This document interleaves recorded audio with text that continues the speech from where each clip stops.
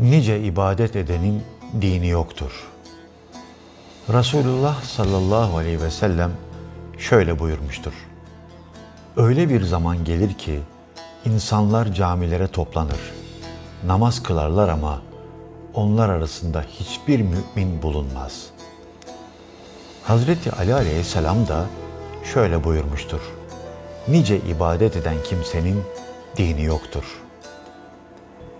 İmam Ali aleyhisselam namaz kılan birine şöyle buyurmuştur. Ey adam!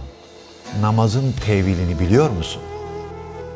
O, efendim namazın ibadet dışında bir tevili var mıdır diye sorunca İmam aleyhisselam şöyle buyurdu.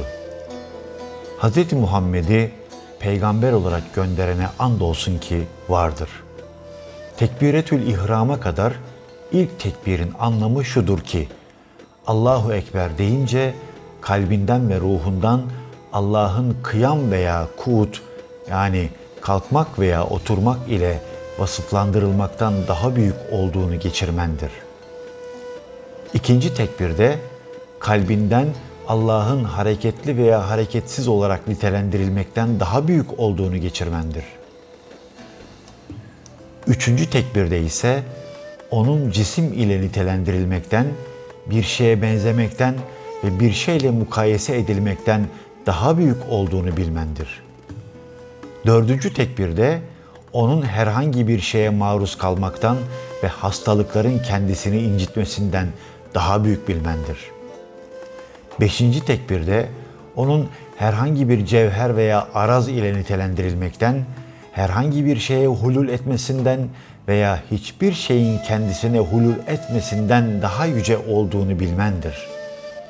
Altıncı tekbirde onda zeval bir yerden bir yere nakil ve hadis yani sonradan olmuş varlıklarda var olan değişikliklerin caiz olmadığını kalbinden geçirmendir.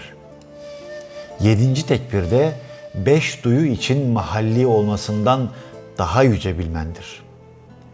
Rükuda boynunu uzatmanın tevili kendi kendine şöyle demendir. Eğer boynumu vurursan yine sana iman ederim.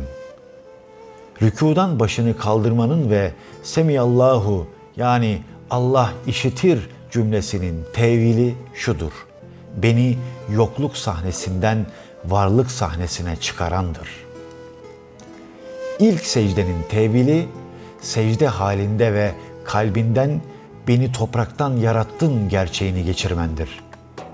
İlk secdeden başını kaldırmanın tevili ise şudur. Beni topraktan yarattın. İkinci secdenin anlamı şudur. Beni toprağa geri çevireceksin. İkinci secdeden başını kaldırdığında ise kalbinden yeniden beni topraktan çıkarırsın diye geçirmendir. Sol tarafa oturmanın sağ ayağı sol ayağın üzerine koymanın tevili kalbinden Allah'ım ben hakkı ayakta tuttum ve batılı öldürdüm diye geçirmendir. Teşehhüdün tevili şundan ibarettir.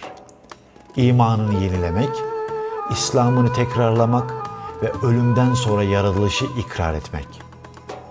Selam vermenin tevili, münezzeh olan Rabbi yüceltmek, onu zalimlerin onun hakkında söylediklerinden, ilhada saplananların nitelendirmesinden daha üstün bilmektir. Esselamu aleyküm ve rahmetullahi ve berekatuh cümlesinin tevili ise rahmet ve münezzeh olan Allah'ın sevgisini talep etmektir. Bu ise sizin kıyamet günü azaptan emanda oluşunuz anlamındadır. Müminlerin emiri Ali aleyhisselam daha sonra şöyle buyurdu. Her kim namazın tevilini bu şekilde bilmezse namazı eksiktir. Hazreti Ali kâmet getirirken söylenen Kadıkameti salah cümlesinin anlamı hususunda şöyle buyurmuştur. Yani görüşme, münacat, hacetlerin kabul edilişi, hacetlere ulaşma, aziz ve celil olan Allah'a bağlanma, keramet, bağış, hoşnutluk ve mağfiret vakti ulaştı.''